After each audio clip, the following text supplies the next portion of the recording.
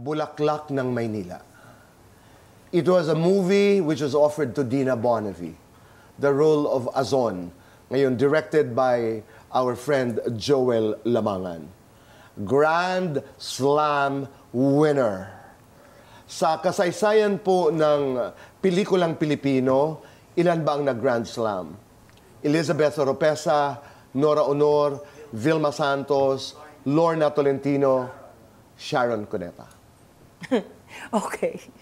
Na, hindi ko alam kung bakit tinanggihan ni Dina, ni Miss Dina at saka ni Miss ah, Shasha. Kasi in-offer yan sa kanilang dalawa. Oh, okay. So hindi ko sure masyado kung ano yung reason.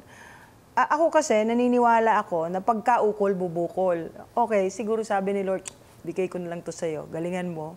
May mga eksena ako doon na talaga namang ginawa ni Joel na ilabas lahat, wag ako magtira. Kasi may mga instances na hindi mo pwedeng ilabas lahat. Kasi kakainin mo rin ng buhay yung kaeksena mo. So mag adjust ka. Ito hindi. Sabi niya, ibigay mo lahat. Dahil ikaw yung pinalit ko. Ayaw ko mapahiya. so may pressure na ganon. So binigay ko lahat. May eksena kami doon na yung si Christopher De Leon, tarantado yung role niya doon. Ang galing ni Christopher, Christopher De Leon eh. Yung hawak niya ako rito, pinakita yun sa Famas, I think. May dialogue ako doon. Okay. You remember the dialogue? Nando ng Bernardo. Oh, yes! Eh, ba, ikaw lang, hawakan mo ako. Sige. Patayin mo ako. Alam ko ikaw pumatay kay Nardo. Patayin mo rin ako ngayon. Tapos na. Grabe ka! Wala Grabe! naman yun. Eh, napakasimple nun actually. eh. Hindi In- simple yun. Parang nangangain yung iyong mata. Ayun, yes. Oo. Nakasalamin pa nga. Ay, yan ang, yan ang gustong-gusto ni Bernie sa akin. Kasi...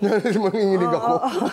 yung mata, kailangan naintindihan nila yung sinasabi mo kahit hindi mo sinasabi. Oo. Ayun. And it's in that presence, no? Nakahawak lang naman ako. Na, napansin mo bang ah, pa, pa, patigas? Kasi nadadala pala Oo, yung... patigas ng patigas. Oo. Yan yun. Ganyan yun. If, if you really want to be good, dapat ibigay mo lahat. Tapos kausapin mo yung direktor.